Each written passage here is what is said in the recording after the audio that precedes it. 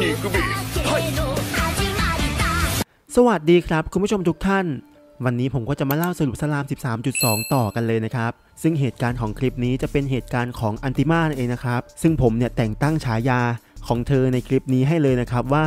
เขาปลูกแต่เธอเด็ดนั่นเองนะครับ เอาละครับเพื่อเป็นการไม่เสียเวลา เราก็ไปฟังพร้อมๆกันเลยนะครับ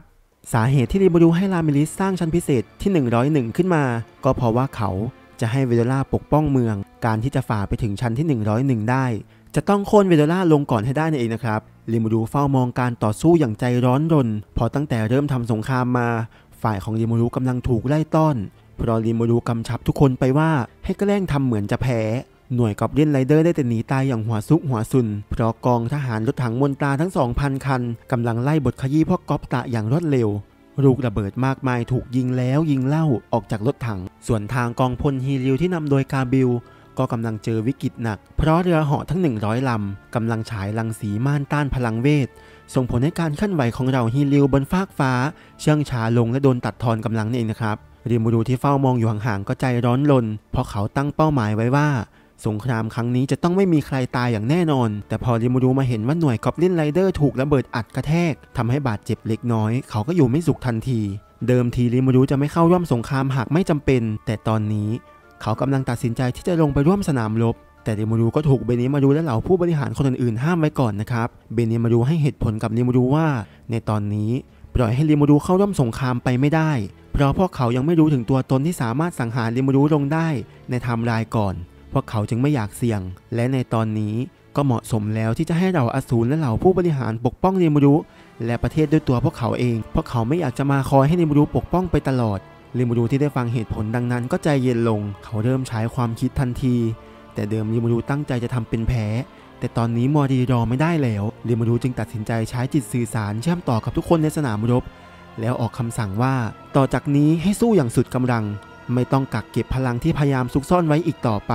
จงระบายโทสะออกมาแล้วคว้าชัยชนะมาซะ สิ้นเสียงของริมูรุทุกคนในสนามรบก็เริ่มเฮและตื่นเต้นกันใหญ่ เพราะเขากักเก็บพลังอันมหาศาลไว้ในร่างกายมาตลอด ปกปิดตัวตนและพลังที่แท้จริง เพื่อไม่ให้เกิดปัญหาขึ้นในเมืองหลวง แต่ตอนนี้นายเหนือหัวของพวกเขา อนุญาตให้ปลดปล่อยพลังพวกนั้นออกมาทั้งหมด พวกเขาจึงไม่รีรอที่จะทำตามทันที ริมูรุตัดสินใจที่จะคว้าชัยชนะในสนามรบครั้งนี้เอาไว้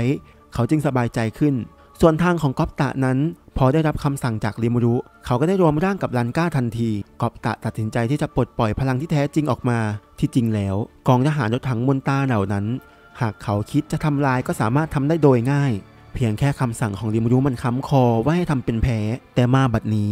ริมูรุสั่งให้เขาปลดปล่อยพลังที่เก็บซ่อนเอาไว้ เขาก็พร้อมที่จะบดขยี้เศษเหล็กเคลื่อนที่ในสนามรบให้ราบคาบ ทางฝั่งของนายพลแกสเตอร์นั้น เขาเริ่มรู้สึกถึงความเปลี่ยนแปลงในสนามรบ เพราะจู่ๆเหล่าอสูรที่พวกเขาได้ต้อน ก็หันกลับมาลุกสู้สุดกำลัง และปลดปล่อยความน่ากลัวออกมา แตกต่างจากตอนแรกลิบลับ แรงกดดันมหาศาลถูกปลดปล่อยออกมากดดันทั่วสนามรบแต่จู่ๆนายพลแกสเตอร์ ก็รู้สึกถึงออร่าที่อันตรายมากๆที่โผล่ขึ้นมากลางสนามรบและเขาก็ได้พบกับก๊อปตะในร่างหมาป่าที่รวมร่างกับลันก้า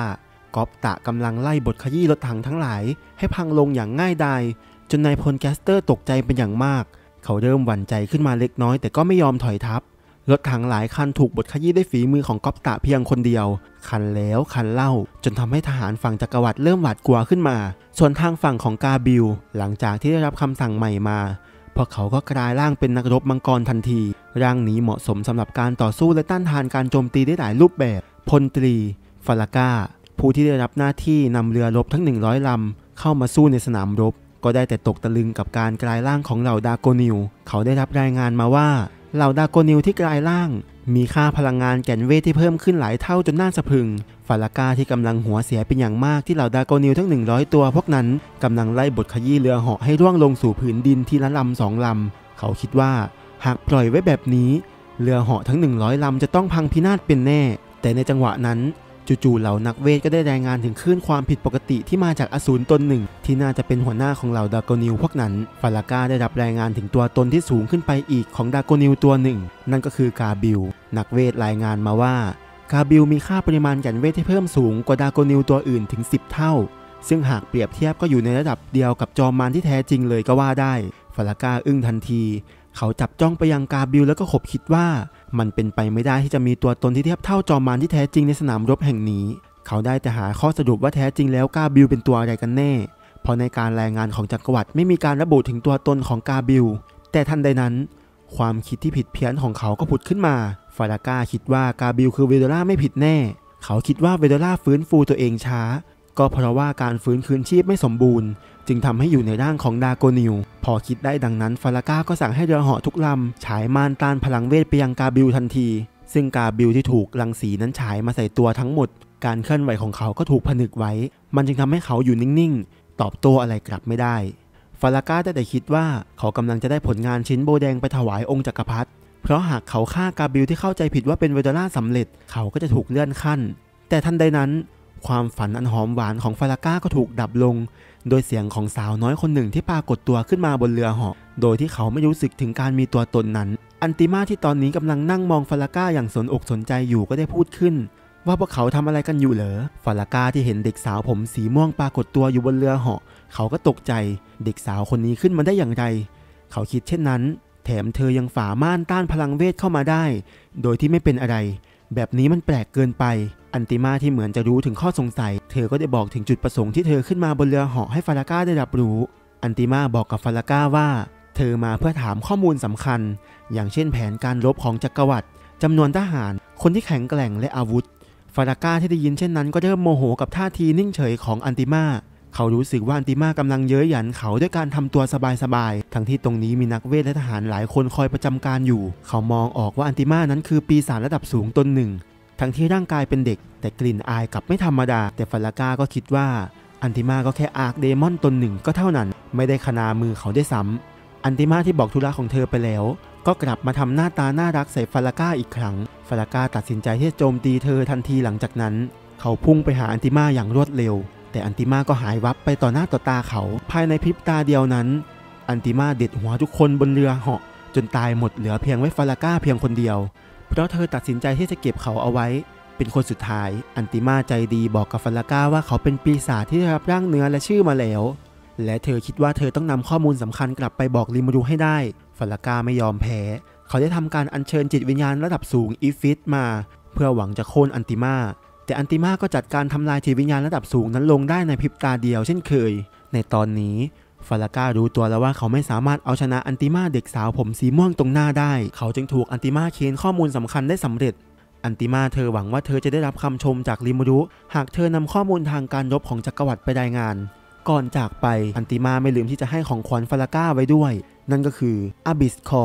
แก่นเพลิงสีนิล มันคือดวงไฟนรกบริสุทธิ์ที่น้อยคนนักจะควบคุมมันได้ หากเป็นบุคคลสำคัญของมนุษยชาติ คงต้องใช้ถึง 3 คนเพื่อที่จะเสกมันขึ้นมาแล้วควบคุม แต่ตอนนี้อันติมากลับเสกมันขึ้นมาอย่างง่ายดายราวกับเป็นของเล่นแถมยังใช้เวทมนต์จากเธอเพียงคนเดียวเท่านั้น อันติมาโยน Abyss Core ใส่ฟาราก้าพร้อมจากไปอย่างไม่แยแส หลังจากนั้นไม่นาน ดวงไฟกลมก้อนเล็กก็เริ่มแผ่ขยายปกคลุมทั่วเรือเหาะบนฟากฟ้า Abyss Core ขยายและระเบิดออกราวกับดอกไม้ไฟ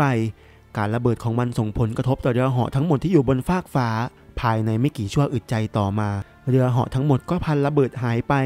ราวกับไม่เคยมีมันอยู่ การโจมตีของอันติมานั้นมีชื่อเรียกว่า Nuclear Flame เพลิงทำลายล้างหนึ่งในเวทนิวเคลียร์อะตอมพิฆาตที่เหล่าจุดเริ่มต้นถนัด กาบิลที่เข้าใจผิดว่าอันติมามาเพื่อถ่วงเวลาให้เขา